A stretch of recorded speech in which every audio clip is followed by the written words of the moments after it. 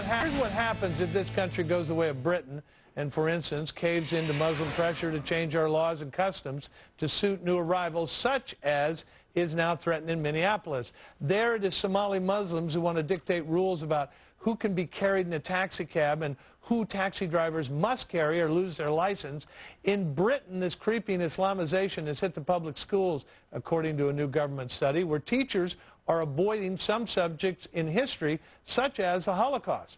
The Daily Mail reports today, and I quote, the government study found that some teachers are reluctant to cover the Holocaust atrocity for fear of upsetting students whose beliefs include Holocaust denial. Now, if those students whose beliefs include Holocaust denial were to be skinhead students who are simply anti-Semitic, the lessons would go right on, I'll bet you. The paper went on to report that the 11th century Crusades were also not taught because the lessons all often contradict what is taught in the local mosque. Can't have that.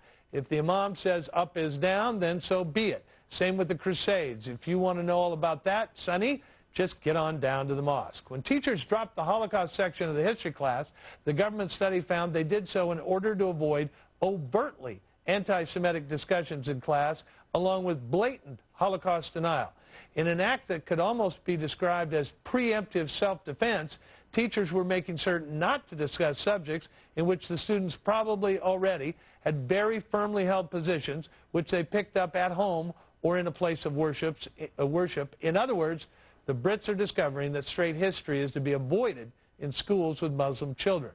The next thing we'll hear is that they decided to teach history, so they have bent their standards to and are teaching mosque-approved history.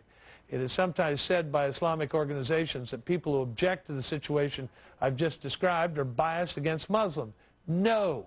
The bias is against change in law from English common law to Sharia. The bias is against the massaging of history to suit the biases and prejudices of the student and his or her family.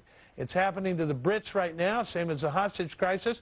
Our friends the Brits are an early warning system, and what is happening there is fair warning to us.